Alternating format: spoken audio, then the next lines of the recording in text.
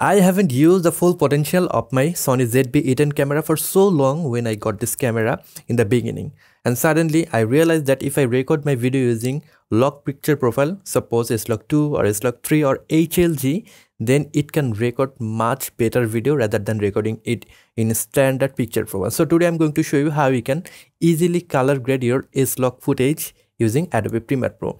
So without wasting any more time, let's get started. So here in Adobe Premiere Pro, I have already inputted two different video. I'll give a link in the description below. You can download the footage and you can practice along with me. So I have recorded this video using standard picture profile and this video have been recorded using picture profile 8 which is S-Log 3 right so if i click and drag this here on my timeline you'll see the video is already processed. I mean the camera has already introduced contrast saturation and sharpness here on this footage. But if i click and drag this S-Log 3 footage you'll see the footage is looking so dull. It is looking very washed out. So how you can color grade this S-Log 3 video in Adobe Premiere Pro? To color correct and color grade log footage first you need to convert that footage in standard picture profile. So the camera has recorded the video using s-log 3 right if you want to uh, color it you can sim simply you can just increase the sharpness then saturation contrast. It will look okay but it will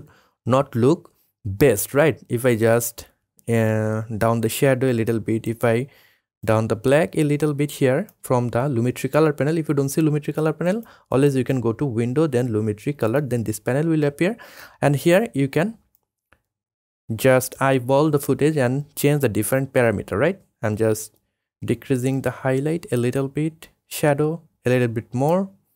Then i'll increase the exposure a little bit again. White decrease. And from here you can introduce sharpness and you can introduce saturation or vibrance right? So it is looking okay right? If i show you the before this is the before this is the after but if you use a conversion LUT it will make your job much easier right? So let's reset all the things that we have adjusted and use a conversion LUT. So you can download conversion LUT from sony website. If you search for sony conversion LUT then this page will appear. And from here you can download the LUT for your Sony camera right?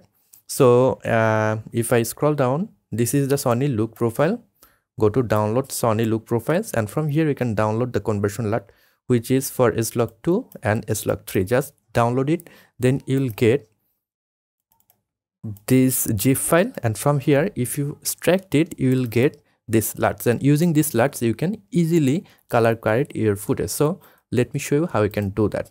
First what you need to do you need to use a input LUT from here.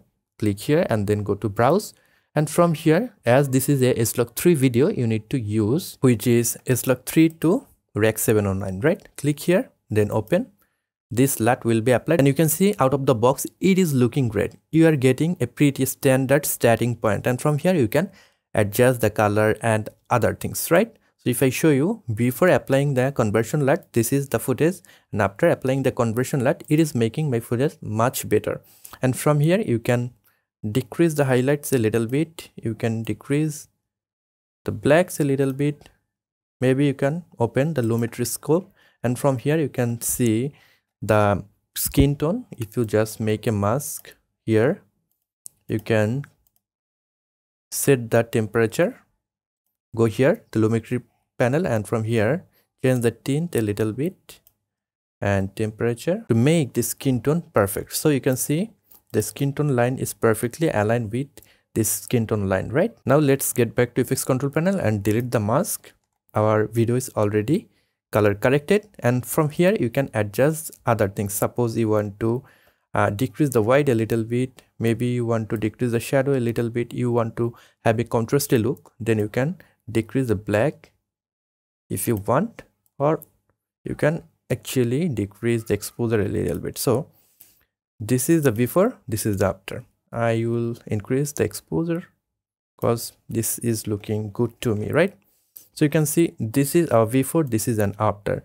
This is the video recorded using standard picture profile and this is the video that you have recorded using is lock 3 picture profile. It is looking much better in my eyes. Let me know in the comment section below which one you like the most. If you want you you can get this look easily if you just increase the contrast a lot and if you decrease the highlights a little bit and then if you decrease the shadow a little bit again decrease the blacks then you will get the contrasty look. Then you can just increase the color. Then you will get a similar look very close to your standard picture profile right? But we will not use that. We will use our corrected video which is looking great in my eyes this one right from here i will just increase the sharpening a little bit then vibrance. Then if you want to color grade it go to here which is HSL secondary. Just select the skin tone color.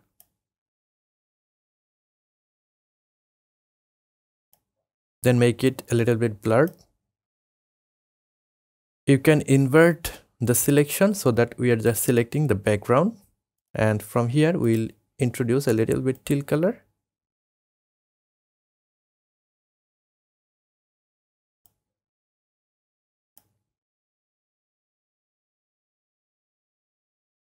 so that's it. That is the before that is the after. So that's it. Now you know how you can color grade s-log footage using adobe premiere pro. I hope you have liked this video.